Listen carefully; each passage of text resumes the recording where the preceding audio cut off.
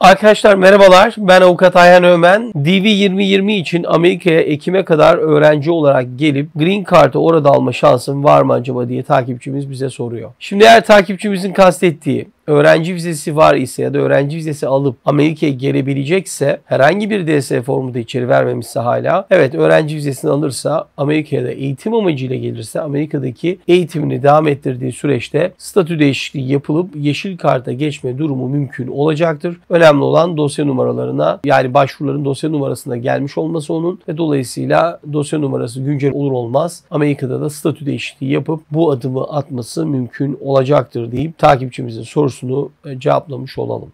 Müzik